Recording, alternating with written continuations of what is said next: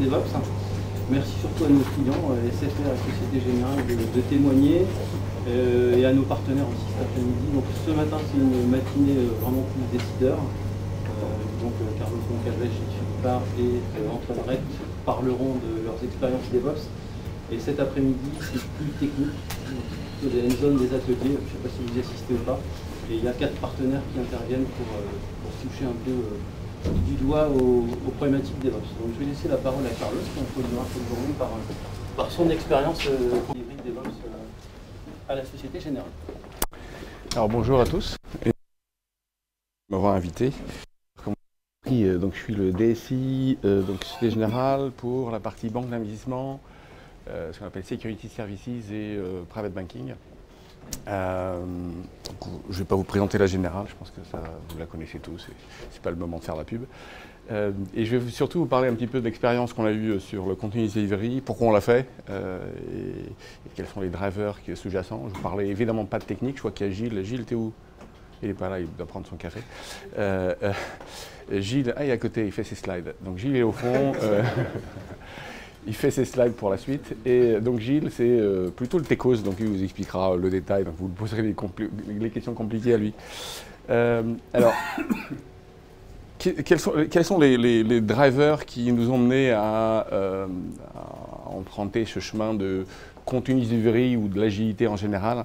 Alors en fait, il y a, je dirais, il y a trois grands drivers.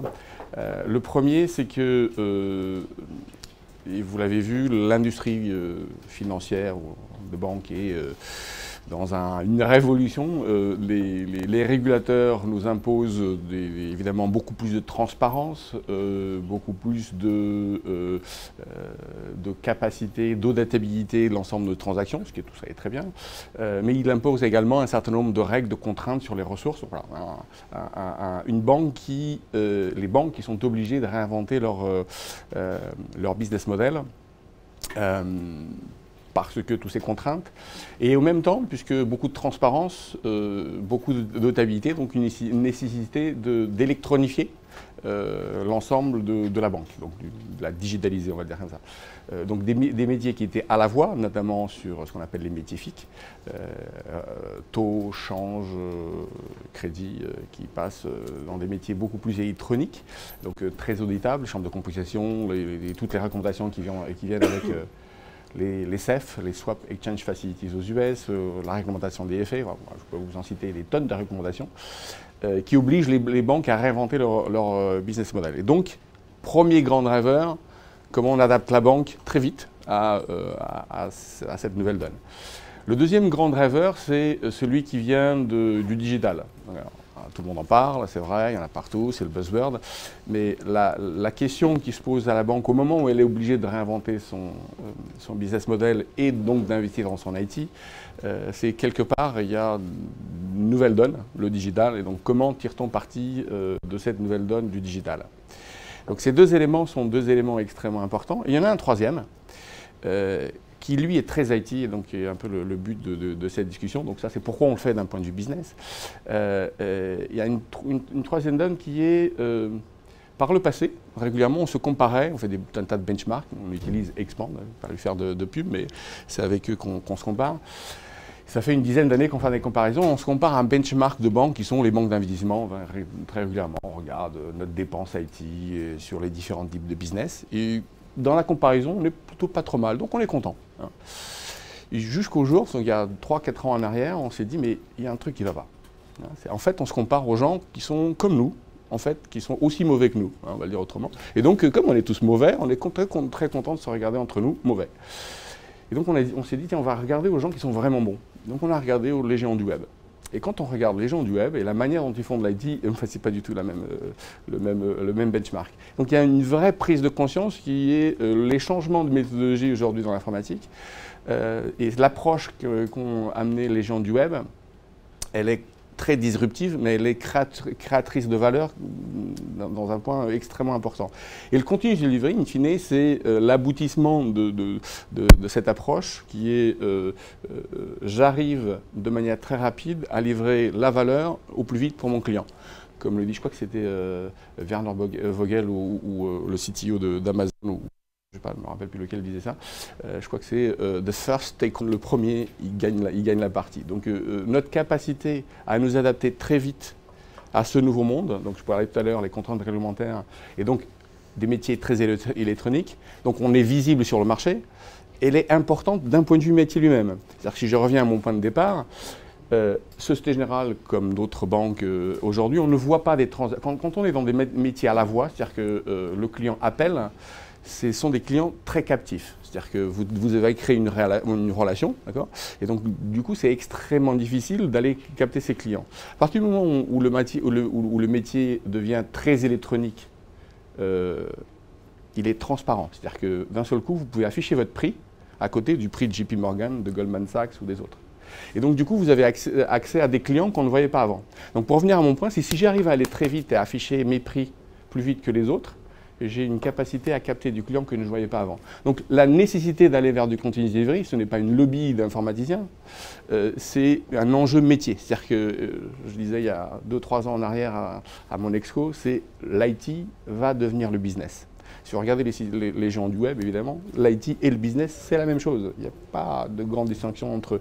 Donc la question pour nous, c'est comment fait-on marier les gens du business et les gens de l'IT pour apporter la meilleure valeur pour le client?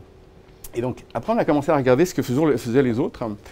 Et euh, on a eu pas mal d'échanges avec euh, quelques-uns de, nos collègues à Paris ou à l'étranger, et tous nous ont dit non, non mais tu n'y arriveras pas.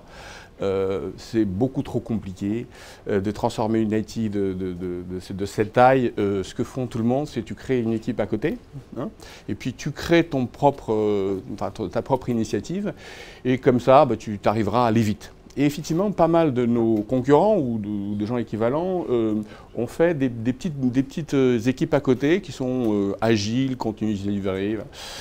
Et, et on s'est dit, mais non, en fait, ce n'est pas la bonne approche. on s'est dit, mais si personne n'y a réussi, bah, pourquoi nous on en réussirait? Donc on était un peu, est-ce qu'on va vraiment se lancer? Et enfin, on a regardé une petite boîte, ça s'appelle Google, je ne sais pas si vous la connaissez. Et en fait, quand ils ont commencé, ils étaient 5000, enfin, ils n'étaient pas en mode continuous ils étaient 5000 développeurs. Euh, ils avaient plus de 40 euh, sites. Euh, ils avaient plus de 2000 projets actifs.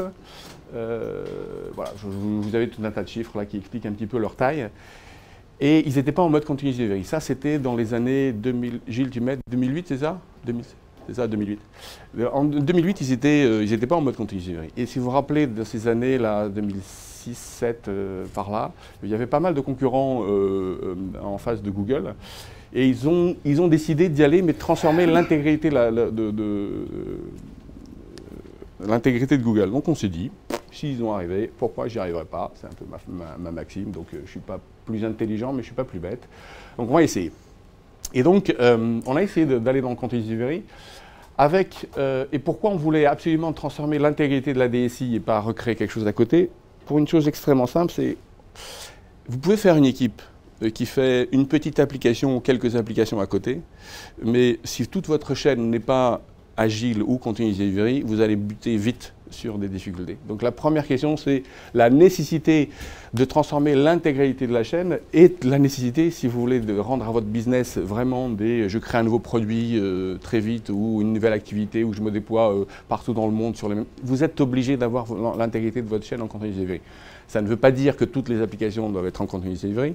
Ça veut dire que là où vous avez besoin d'agilité, il va falloir que cette chaîne euh, puisse être en continuous delivery de, haut en bas. Donc on, a décidé d'y aller.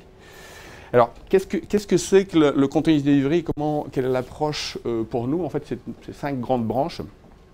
Et euh, quand on a regardé les, gens du web, plus une au milieu, quand on a regardé les gens du web, en fait, il y a deux grands, de grandes transformations qu'on a entamées.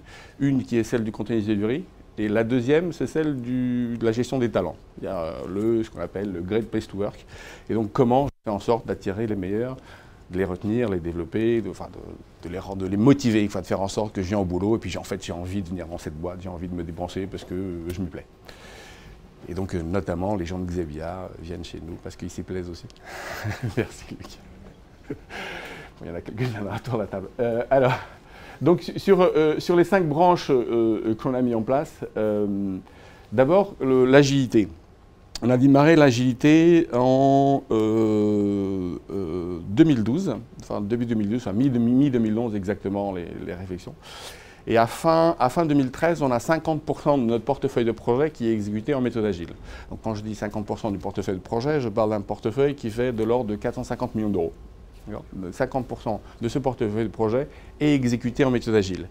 Et la bonne nouvelle, c'est que autant dans la première année, euh, c'est un, un boulot de tous les jours que d'expliquer l'agilité et de pousser l'ensemble des, euh, euh, des, équipes et du métier.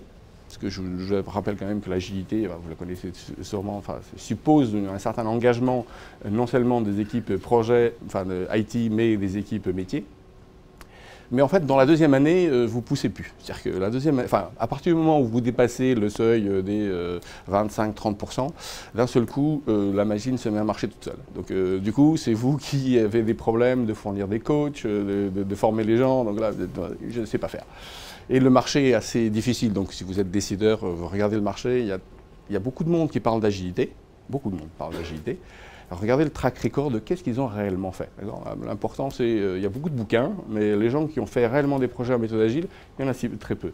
Donc le marché est assez sec là-dessus, mais euh, on considère que c'est la bonne voie. Voilà. Donc euh, premier, grand point, l'agilité. le deuxième point important, bah, la, la, convergence des stacks technologiques, donc stack Java, stack.NET, sur lequel nous avons démarré, et on en a besoin évidemment pour pouvoir faire du cloud un peu plus tard. Donc, euh, troisième branche, le cloud. Et euh, je suis fier d'annoncer qu'on a, nous avons gagné la semaine dernière euh, le premier prix VMware du cloud privé, parce qu'on a fait un, beau cloud privé chez nous. La, quatrième branche, l'automatisation. Donc, si vous voulez faire du continuous delivery, il est évident que la qualité de la production est l'élément le plus important. Vous ne pouvez pas livrer en production tous les jours ou toutes les semaines si euh, chaque fois que vous livrez, euh, votre production est instable. Donc votre, capacité à automatiser complètement l'ensemble du cycle de, livraison, de change, est, juste fondamentale. Donc euh, Software Factory, Software Quality, à outrance, est complètement déployé et complètement mesuré. C'est l'élément important. Donc nous avons déployé des chaînes de Software Factory, Software Quality et, encore une fois, hein, vous n'avez le droit euh, de, faire du contenu delivery que si, in fine, vous avez à garantir à vos clients que la production est stable à chaque fois. Donc une application en contenu delivery, c'est zéro défaut. Si ce n'est pas zéro défaut, il y a un problème. Donc ça, c'est le premier élément de la nécessité de tout automatiser. Et le deuxième, c'est que si vous livrez d'un seul coup toutes les semaines ou toutes les trois semaines, euh, le coût des releases devient euh, important. Donc, la nécessité d'automatiser est également liée au prix de combien je paye pour faire une release. Donc à partir du moment où j'arrive à automatiser complètement mon, cycle de test et de livraison, mon coût est extrêmement réduit, donc je peux livrer de manière très fréquente. Donc l'automatisation est une nécessité économique et est une nécessité également euh, euh, pour la qualité de la production. Et donc la, dernière branche, le DevOps, la, capacité à livrer en continu, parce qu'il euh, faut automatiser l'ensemble de, la chaîne qui va avec, euh, euh, avec Deployit ou autre, puisque j'ai échangé à quelques-uns autour de la table sur Deployit. Effectivement, nous, on a utilisé Deployit. Alors,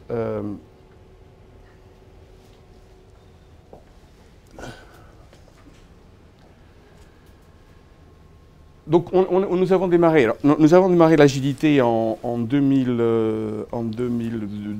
euh, avec euh, des livraisons qui euh, montaient en charge progressive la fin d'année dernière. Donc maintenant, euh, l'objectif que nous nous sommes fixés, euh, euh, c'est d'aller vers le continuous delivery. Alors je vous parle du continuous delivery aujourd'hui, on a 4-5 applications qui sont en mode continuous delivery, donc on est au tout début. les résultats sont extrêmement prometteurs, donc il y a des applications, la qualité vue à la fois du, côté client et la valeur ajoutée vue du côté client est extrêmement, extrêmement bonne. mais c'est une vraie rupture, c'est-à-dire que quand j'ai poussé les équipes pour aller au sur le continuous delivery. Euh, ce qu'ils m'ont expliqué, c'est qu'on va passer de l'agilité à du craftsmanship, ou, euh, si vous regardez le niveau de maturité entre euh, l'agilité et le continuous delivery, il y a un certain nombre de niveaux. je ne sais pas s'ils sont dans le slide suivant. Je ne crois pas. Non, ils ne sont pas là. oups. Euh, donc, euh, euh, il y a un certain nombre de... et, donc, il m'explique où on va, cette année, on va faire le niveau suivant, enfin, on va faire un peu plus d'agilité, passer au niveau craftsmanship. Et, en fait, la réalité, c'est, si vous n'arrivez pas, enfin, la rupture est vraiment au moment où je suis en production. Et la, grande différence, je, pour essayer de bien comprendre pourquoi ce concept de continuous est important, important la, grande différence entre je fais de l'agile et je fais du continuous delivery, il s'appelle l'utilisateur final. Quand vous êtes en méthode agile, vous créez une belle équipe multidisciplinaire, où vous avez votre client, euh, le product owner, euh, euh, le business analyst, whatever, enfin vous mettez tous les gens autour de la table, ils bossent tous très bien ensemble, ils font un produit très sympathique, ils le mettent en production et puis un jour il y a un gars qui s'appelle l'utilisateur qui se met dessus et dit mais c'est pas ça que je veux. Et, pourtant, dans l'équipe projet, nous avions mis les meilleurs spécialistes côté métier. Et en fait, la réalité quand vous êtes en mode continuous delivery, c'est que le feedback, la boucle de rétroaction, ce n'est pas l'équipe projet, c'est le client final. Et juste cet élément, il est déterminant. C'est-à-dire que euh, si vous regardez Google pour euh, faire référence encore à la petite boîte que j'ai présentée au départ, euh, eux, ils livrent, ils ont des éléments de test, enfin, ils livrent plusieurs versions de leur, sur des, sur, des, des communautés d'utilisateurs. Et ce qu'ils retiennent, c'est pas ce que l'ingénieur pense qui est le meilleur, hein, c'est celui que l'utilisateur utilise. Et souvent, euh, c'est pas celui que l'ingénieur pense être le meilleur. Donc, euh, mon point, c'est euh, il faut la, méthode continue pousse l'agilité à l'extrême, qui est je suis en production. Et comme je suis en production, je peux avoir la, boucle de l'utilisateur, et donc je peux corriger ma trajectoire. Et alors, pour revenir maintenant au concept même de l'agilité continue ce qui est important et c'est ce que je dis maintenant à pas mal de nos partenaires avec qui on travaille, sur lesquels on faisait des, projets au forfait. Quand vous prenez conscience que l'ensemble des méthodes waterfall ou cycle en V euh, sur lesquelles on a tous développé euh, pendant des années, ces méthodes-là ont un concept sur le fond qui est assez simple, qui s'appelle le contrat. On fait un contrat et on développe ce qu'il y a dans le contrat. C'est sympa pour la boîte qui fait le projet, mais pour moi, client, si le contrat, si je me suis trompé et qu'on me livre ce qu'il y a dans le contrat, la valeur que j'ai reçue est de zéro. Enfin, j'ai rien, je m'en fous du produit que tu as livré. Donc ce qui importe pour moi, boîte, c'est la valeur, c'est pas le contrat. Si je me suis trompé dans le contrat, il faut que je puisse bouger le contrat. Et en fait, la méthode agile, la perte, ou le continuous apporte ce truc important qui est, c'est la valeur qui est au centre. Et donc il faut qu'on arrive à changer l'interaction et le partenariat avec euh, les, gens avec qui on travaille, il faut qu'on passe dans des logiques de valeur. On sait ce qu'on veut obtenir à la fin, il faut qu'on puisse y aller de manière itérative, il faut qu'on puisse me tromper, il faut que tu puisses expliquer également ta difficulté, et donc euh, éventuellement, si euh, bah, voilà, a des difficultés techniques, qu'on puisse adapter. Et souvent, c'est extrêmement dur pour des décideurs de dire que je n'ai pas un contrat. Juridiquement, euh, quand on veut signer des choses, c'est extrêmement dur. Donc il va falloir qu'on apprenne tous à travailler. Il y a quelques sociétés maintenant qui font des, des, projets au forfait en mode, en mode agile, mais c'est assez rare encore.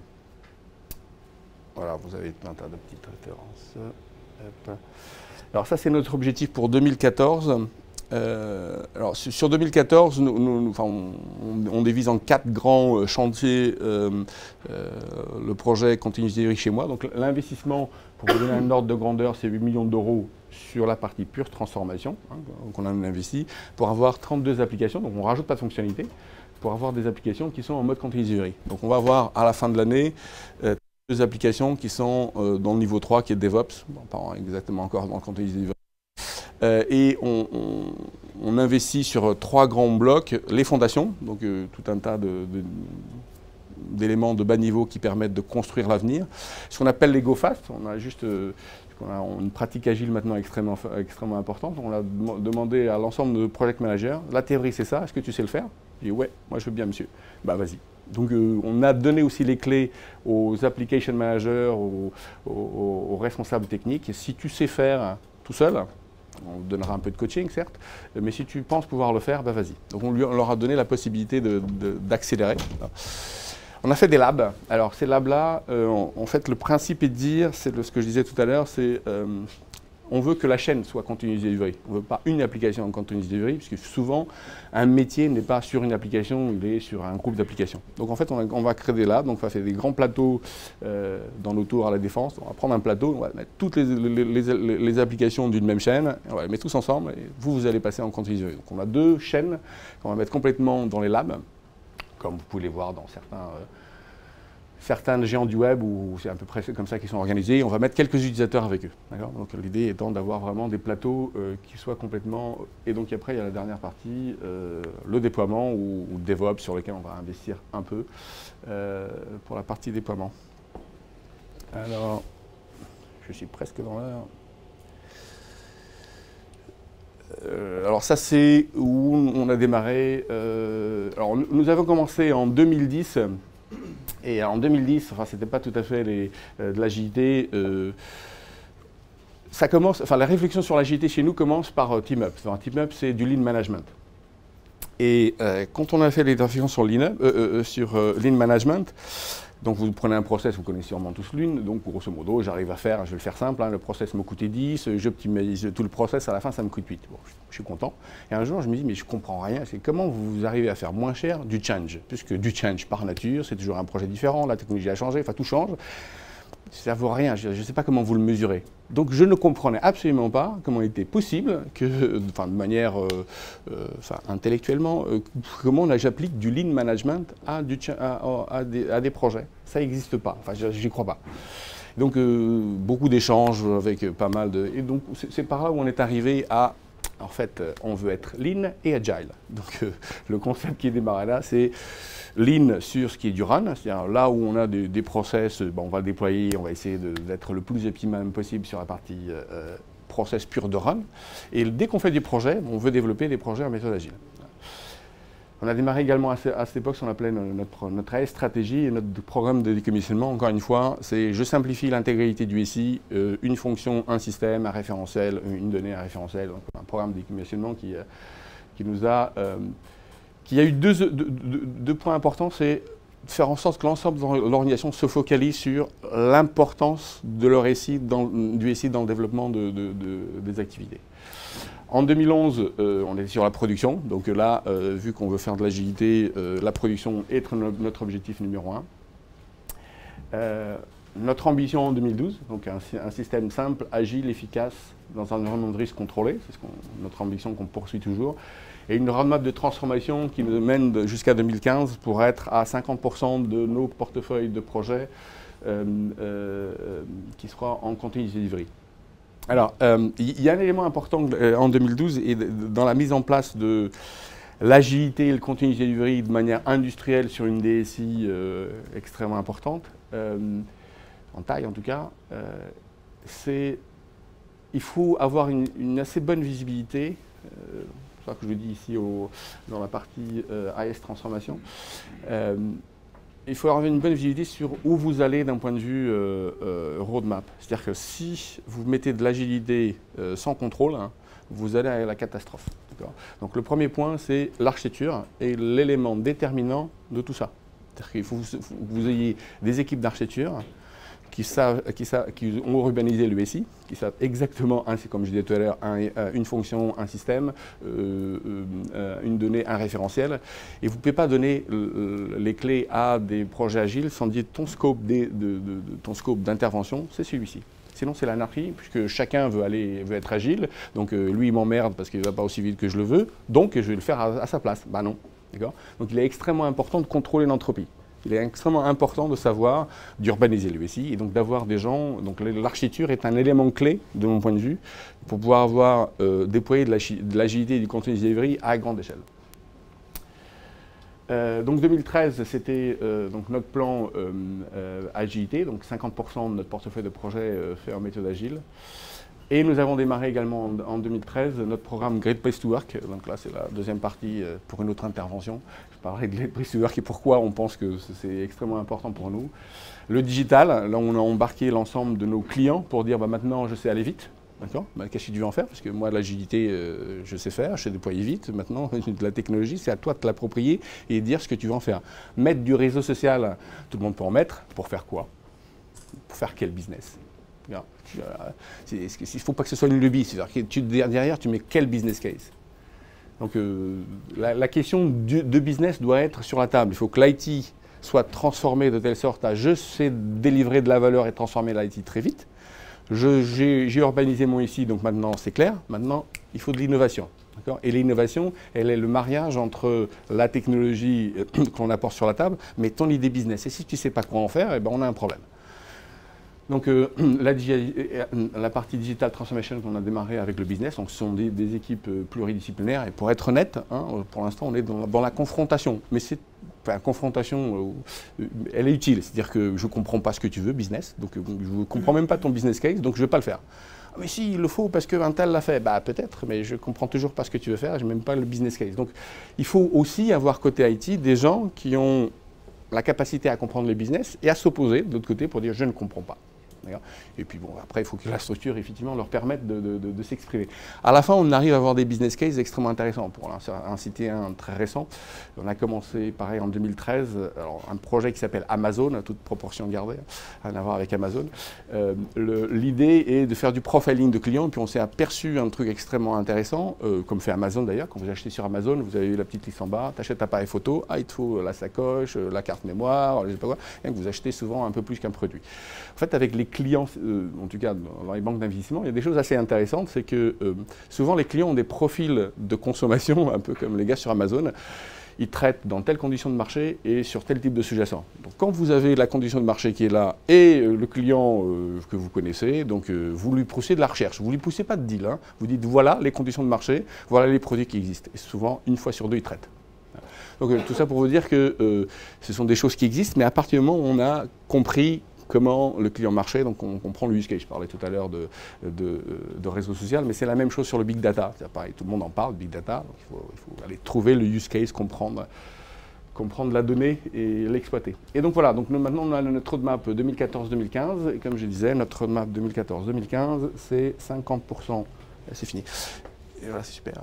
Et, et donc c'est 50% euh, de notre de nos applications critiques en mode continuous delivery. C'est bien ça, Gilles? Arrête de faire tes slides. Il, bosse tout le temps. Voilà, alors euh, je suis pile poil à l'heure. T'as vu ça? Luc, ça va? Donc vous avez 15 euh, minutes de questions, c'est ça? Oui. Voilà, donc si vous avez des questions, pas trop techniques s'il vous plaît, vous allez me larguer. Euh, mais si vous avez des questions de, sur notre expérience. Pardon? Les techniques, c'est toi, hein, c'est ça, c'est pour les gars qui savent vraiment. Ouais. Bonjour, Stéphane Salin. Stéphane, pardon Stéphane Salin, AXA. AXA. Oui. Quel est l'impact de tout ça sur l'organisation que vous avez gérée hmm. Alors, c'est là où Great Place Tour commence à, intervenir. Mais alors, deux, points.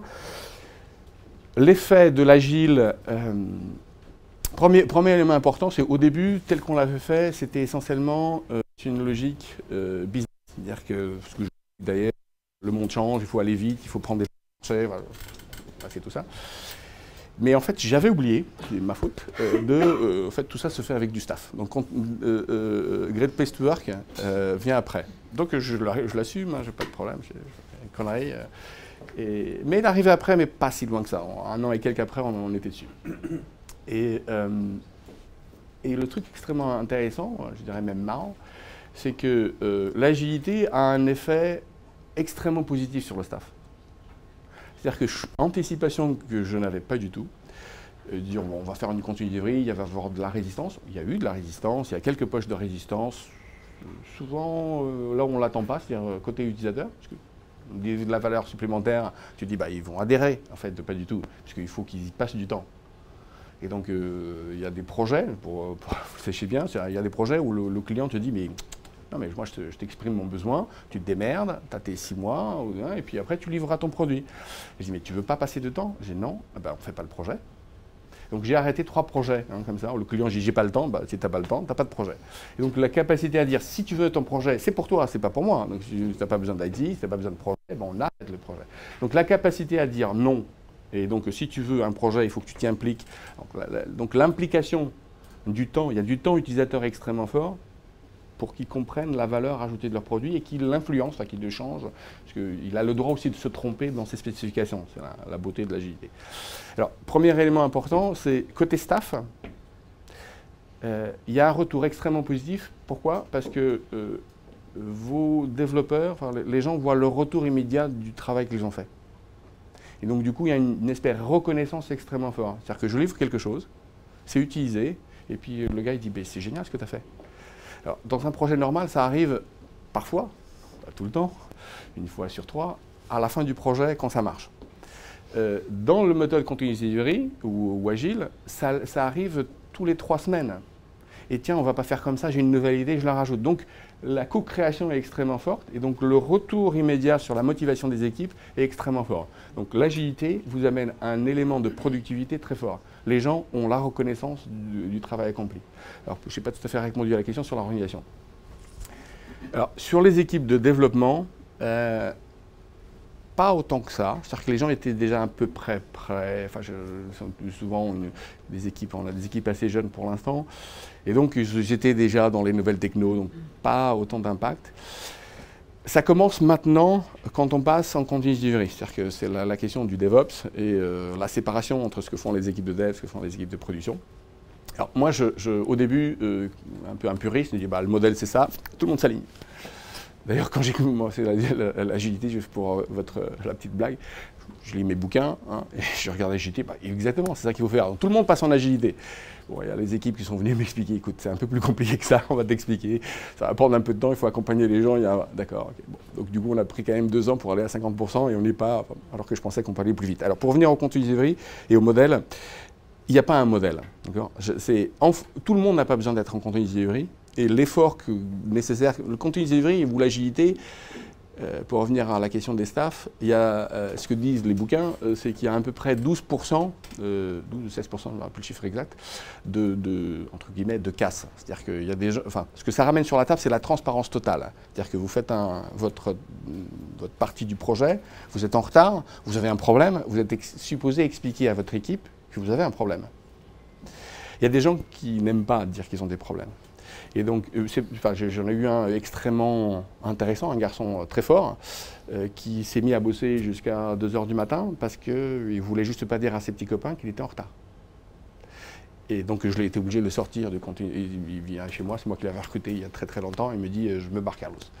Et pourquoi? Je comprends rien. Il me dit bah, écoute, j'arrive plus, je bosse jusqu'à 2 heures. Puis, euh, en fait, ces gens-là, il faut les identifier. C'est pas mauvais. Ils sont, fonctionnent juste pas euh, exactement dans un mode collaboratif euh, complètement transparent. Ils sont des gens qui vous donnent une deadline, ils se donnent à fond pour tenir la deadline, quitte que coûte que coûte. Donc il faut les mettre dans des, dans des contextes. Donc il faut savoir les identifier. Donc faire, faites extrêmement attention. et ce cas-là m'a fait dire tiens, il y a un problème. Il faut que je comprenne qu'est-ce qui se passe. Et donc euh, il y a des gens qui ne passeront pas en continuous delivery. Et by the way, je ne serai pas à 100% en continuous delivery. Et donc, euh, bah, j'ai des applications sur lesquelles le cycle de vie, c'est deux releases par an. Et bah, j'ai pas besoin d'être en continuous delivery. Je ne ferai pas de la comptabilité en continuous delivery, évidemment. Alors, donc, il y a un certain nombre de choses où on sait qu'on a besoin de cycles plus longs, ou voilà, un certain nombre de, de contraintes. euh. Et donc, et donc euh, je pense qu'il y aura deux, trois modèles, si on est en train de regarder. Euh, et les équipes qui sont en mode continuous delivery, il y a effectivement un rapprochement beaucoup plus fort entre. Alors chez nous, on est séparé en trois grands blocs le développement, la production et les infras. On pense que la pa- partie production risque, en, tout cas pour les équipes qui sont en continuous delivery, de se splitter en deux. Une partie qui va vers euh, euh, les devs et une partie qui va vers les ops, donc la partie pure production. C'est probablement ce qui va se passer, mais on teste pour l'instant le modèle. C'est-à-dire qu'à la fin de cette année, après les tests qu'on va faire, on aura la conséquence d'un point de vue organisation. Mais le, point, c'est il faut que les équipes le sentent, le vivent. C'est-à-dire si vous arrivez en disant je vais vous splitter comme ça parce que moi, Carlos, euh, hein, j'ai une vision, les- il faut que l'IT s'approprie la chose. Et quand, comme les gens sont très intelligents, enfin les Français ou ailleurs d'ailleurs, sont des gens très brillants, bah, quand les gens comprennent, euh, c'est eux-mêmes qui viennent avec les propales. Donc ils lisent des bouquins aussi, donc il n'y a pas de souci. Mais oui, il y a quelques impacts euh, côté organisation. Euh, pour l'instant, on n'en a pas eu autant que ça, mais ça, ça commence à, à frémir dans les quelques-uns. Habituellement, enfin, l'agilité ou même le continuous delivery, c'est c'est drivé justement par la technique, enfin, par l'IT. Euh, c'est pas, le- pas le métier qui le demande, hein. il demande les bénéfices, mais Mhm. pour la, la transformation. Comment vous avez fait pour, euh, on va dire, embarquer le- et surtout le- vraiment bien embarquer le métier, le marketing, Ouais.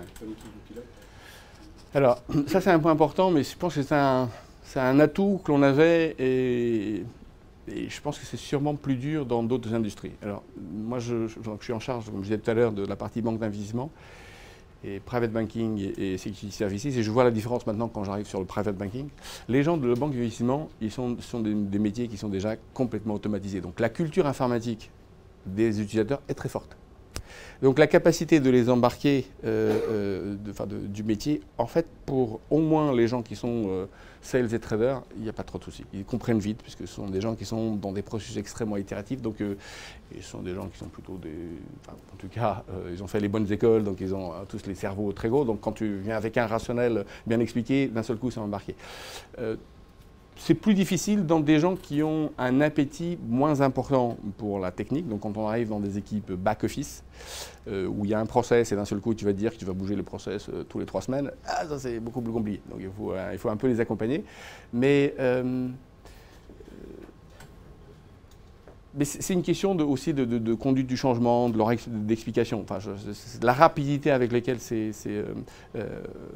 c'est, adopté dépend, je pense, beaucoup de la culture inform- informatique de, votre, euh, de vos utilisateurs. Euh, on, a on a créé un centre chez nous qu'on appelle le centre agile dont Gilles fait partie d'ailleurs, euh, donc, où il y a un certain nombre de coachs, enfin, internes ou externes, qui accompagnent l'ensemble des équipes qui vont en continuous delivery. Et à un moment donné, on se posait la question de ne faut-il pas créer des centres d'agilité au sein des équipes de, utilisateurs, justement les accompagner dans la transformation. Donc peut-être le conseil que j'aurais à donner sur cette partie-là, c'est effectivement, il ne faut pas le négliger et il faut les former. C'est-à-dire qu'il faut les accompagner dans, choisir les grandes gueules, enfin, on dit les porteurs de voix ou les acteurs ou les change leaders dans côté métier, pour leur expliquer et que ce soit eux qui portent la parole, parce que quand ils sont convaincus, souvent ils portent la parole dans les autres équipes. Mais je ne sais pas si j'ai répondu à la question, j'ai essayé.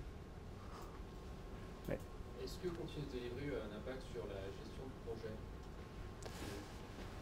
Euh, Pour donner un exemple, est-ce ouais. que avec Continuous Delivery, vous vous autorisez à euh, livrer des projets par plusieurs euh, itérations successives de manière très rapide? Ah mais c'est l'essence même. hein. C'est-à-dire que tu fais de l'agilité, le projet est par essence découpé en... euh, le- donc on fait du Scrum, euh, d'ailleurs. C'est quoi? C'est dans la semaine prochaine, dans deux semaines, qu'il y a euh, Jeff qui est euh, euh, le gourou du Scrum qui vient chez nous. Merci Luc de nous aider. Euh, donc effectivement, la méthodologie, c'est vraiment de l'itération tous les trois semaines. Et, donc oui, on fait des découpages de projets par grande vague. Mais le- truc intéressant quand même là-dedans, c'est qu'en plus, tu peux changer le contenu de la vague. Parce qu'en fait, le truc qui est complètement déterministe, où tu dis, euh, voilà, euh, tu demandes à l'utilisateur qu'est-ce que tu veux, et le gars, il te fait des specs de 50 pages ou 500 pages, et euh, tu livres dans 6 mois, la réalité, ça, c'est la question contrat. Il faut qu'on on regarde quelle est la valeur métier que je veux atteindre au bout, c'est qu'est-ce que je veux faire d'un point de vue métier au bout. En départ, plein de petites itérations qui vont de toute façon changer. Donc la question, c'est oui, la méthode, de- la méthode, la méthode change un peu euh, et change beaucoup, surtout côté utilisateur. Leur, leur capacité à dire ben, on va prendre un risque ensemble, parce qu'un projet, ce n'est pas plus que ça, hein. C'est- un risque à prendre. Donc on va prendre un risque ensemble et on va essayer de, livrer cette valeur métier, même si ce qu'on a défini au départ est peut-être faux. Ben on va adapter le contrat et on va même adapter ce que je t'ai proposé moi au départ, parce que je me suis rendu compte qu'en développement, bah, c'est plus compliqué que je l'avais prévu. Donc on va prendre une autre voie. Puisque l'objectif, encore une fois, comme je disais euh, tout à l'heure, c'est pas le contrat, c'est la valeur. Donc euh, il ne faut pas perdre de vue l'important pour la banque ou pour euh, votre société, c'est pas que vous ayez livré le projet tel que dans le contrat, c'est livrer la bonne valeur pour la banque qui permet de faire du business. C'est ça le point important. Et donc euh, il ne faut jamais perdre de vue l'objectif qui est je livre de la valeur. Donc beaucoup d'itérations. Ah, deux questions à madame d'abord. Euh, Justement, vous disiez que Great Place to Work contribuait à votre démarche, puisque vous en parliez tout à l'heure. Alors, pourquoi to Work contribue à la démarche? Alors, tout ça est très intéressant, je pense. hein. J'espère que je vous ai convaincu qu'il fallait faire du contenu visuel. Euh, et en tout cas, vos équipes vous le remercieront pour ceux qui ont des équipes, euh, et les utilisateurs aussi. Mais euh, ça, se fait avec des gens. Et ça se fait avec des gens très motivés. Parce qu'il y a beaucoup de changements dans leur manière de travailler. Et si tous les jours j'ai mon environnement de travail qui change, et que je me sens moi-même dans des situations, est-ce que j'ai un boulot, pas un boulot, comment le enfin, je me sens, enfin, je, suis dans l'incertain.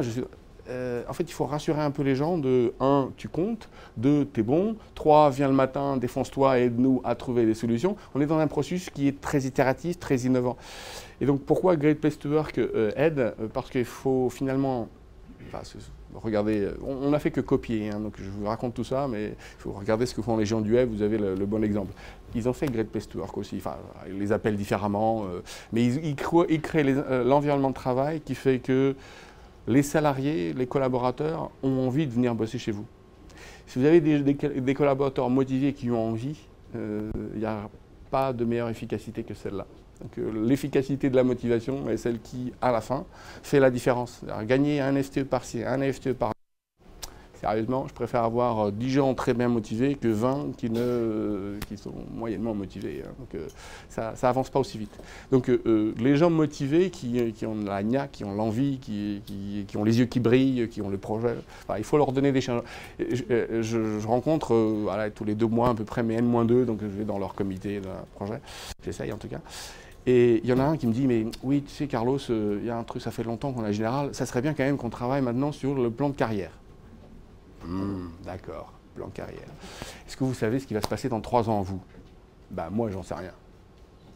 Et je pense que les gens aujourd'hui, à la vitesse où le monde va, les gens qui arrivent à faire des plans de carrière à 5 euh, ans, 10 ans, ça n'existe pas. Donc euh, on peut faire des grandes promesses aux salariés en disant je te vois euh, là, mais dans la réalité, ça ne se passe pas. Alors, je, vous dis autant ça que par le passé, j'arrête pas d'embêter, pour ne pas utiliser un autre mot, ma RH, pour dire il faut faire des plans de carrière pour les gens.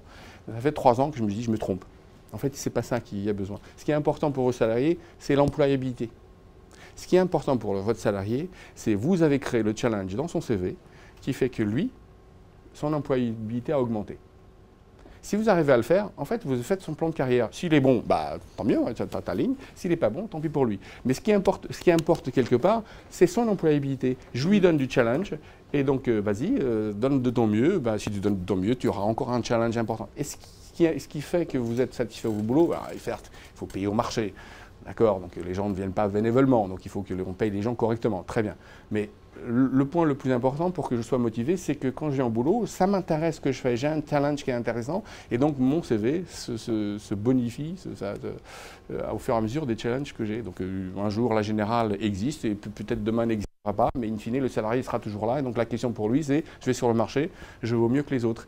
Et si j'arrive à la ligne continue delivery ou, agilité, comme je, suis convaincu que c'est le chemin que l'IT va prendre à peu près dans toutes les boîtes, avoir la ligne continue delivery ou agilité, sur son CV, c'est une valeur importante pour toi, toi salarié. Et ils le savent. Donc d'un seul coup, j'ai envie d'y aller. Donc la carrière, euh, euh, je pense que ce n'est pas le point, c'est le challenge, le point important.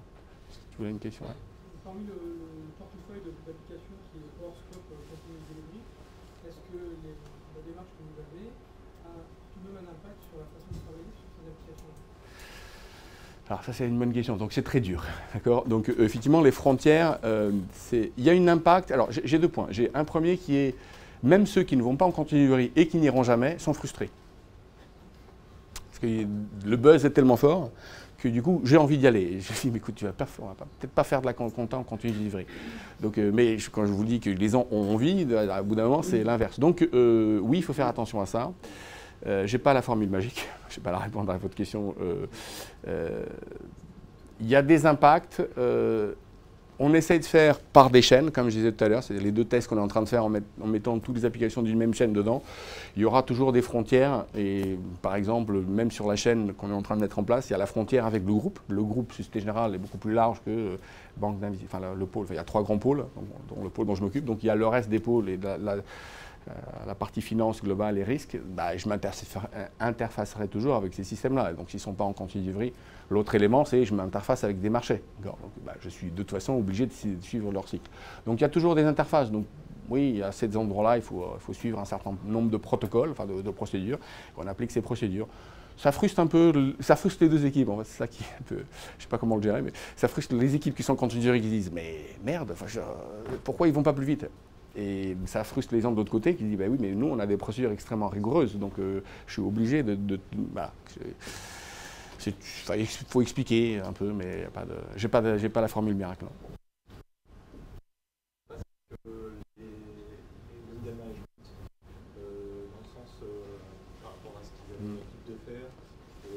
des choses qui sont beaucoup plus euh, manager opérationnel ou staff.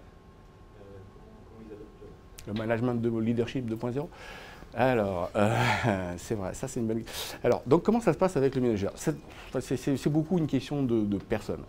Euh, et le, leader ou le manager, j'aime plutôt le, terme leader dans ce truc-là, mais c'est. euh, c'est je, coach. Donc je ne suis plus le spécialiste et donc je suis là pour aider, pour coacher. Et donc je passe les rânes. Et donc c'est assez déstabilisant pour le middle manager. C'est-à-dire que euh, comme beaucoup d'entre nous et dans nos, dans nos différentes euh, organisations, le middle manager assoit sa crédibilité sur son expertise.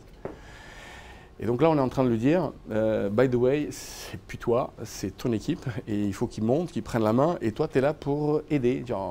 J'ai eu un coach il y a une dizaine d'années qui me disait que le rôle du manager, c'est vous connaissez le curling. Ben, c'est le gars qui, pr- qui prend le balai, hein, qui, balaye devant pour que le. En fait, c'est ça le rôle du manager. Il faut l'entendre comme ça. C'est ton rôle, c'est de balayer devant le, comment on appelle ça, le, le palais, le palais, pour que le palais puisse avancer correctement.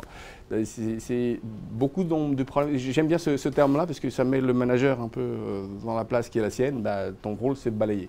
Et pour que les gens puissent avancer. Et donc, du coup, il faut que tu l'acceptes. Ou alors, tu ne veux pas faire du management, donc fais autre chose. Euh, mais c'est important de comprendre que ton rôle est de coacher et plus de faire. Et donc, euh, oui, ça, ça- ça déstabilise un peu quelques middle managers. Oui. Alors, il y a un peu d'accompagnement, oui, on aide un peu. euh, Puis certains euh, retournent à l'expertise parce que c'est leur passion finalement. Parce que la réalité, c'est que beaucoup des managers sont des experts. La réalité, c'est qu'ils se sentent bien dans des rôles d'expertise. Donc, il- parfois, il faut aussi il faut les- bien les payer. Et ça, c'est l'autre contreposé, c'est du coup, il faut quand même s'assurer que les experts, vous les gardez dans le rôle d'expertise et que vous les reconnaissez. Dans le Great Place to Work, il y a un autre chantier, euh, un des chantiers à l'intérieur qui est la reconnaissance de l'expertise. Et comment on fait en sorte que la reconnaissance de l'expertise, non seulement d'un point de vue rémunération, mais d'un point de vue reconnaissance de l'organisation, est suffisante pour que moi, quand je me pose la question qu'est-ce que je vais faire quand je serai grand, est-ce que je vais être manager ou est-ce que je vais être expert, je puisse faire les deux parce que les deux ont une réelle valeur dans, dans la boîte. Et, dans certains cas, euh, j'ai des experts, comme ça vous le saurez, j'ai des experts dans mes équipes qui sont mieux payés que moi. Ce n'est pas un problème.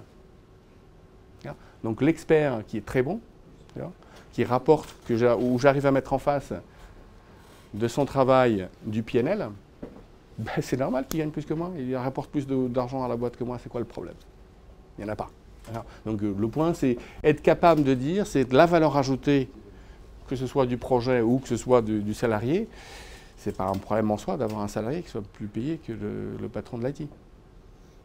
Donc il faut reconnaître cette expertise. C'est un élément important de, du changement qui s'opère en ce moment. Et si vous n'arrivez pas à le faire, en fait, vous avez un problème de, de manager.